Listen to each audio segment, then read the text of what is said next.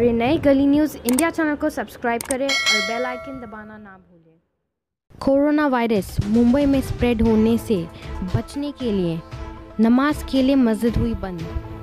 Alana house मस्जिद at Kalaghoda, Mumbai. Opposite session court ने मस्जिद में नमाज़ बंद कर दी है to prevent spreading of corona virus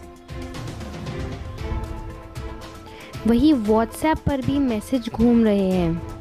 सलाम sir to corona virus issue no Friday prayer will be conducted at Allana centre also mosque will be close till further notice no daily नमाज़ will be performed just for your information जजाकल्ला खैर इस message में लिखा है कि मस्जिद में फ्राइडे की नमाज़ नहीं होएगी फर्दर नोटिस तक और कोई भी पाँच वक्त की नमाज़ नहीं पढ़ी जाएगी। ज़्यादातर हाई कोर्ट और सेशन कोर्ट के एडवोकेट्स और पेटिशनर अलाना हाउस मस्जिद में नमाज़ पढ़ते हैं।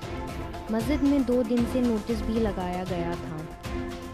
ये वही नोटिस की पिक्चर है, जो अभी आप वीडियो में देख रहे हैं। To prevent the spreading of corona virus मस्जिद close until further notice effective from 7 PM on Thursday 12 March 2020 मतलब आज से मस्जिद में नमाज़ पढ़ना बंद हो चुका है। आज थर्सडे 12 मार्च, मगरिब की नमाज़ के बाद से टिल फर्दर नोटिस नमाज़ नहीं होगी। हालाँकि महाराष्ट्र में 11 कोरोना वायरस केस डिटेक्ट होने के बाद गवर्नमेंट ने ऐसी कोई भी एडवाइजरी जारी नहीं किया है।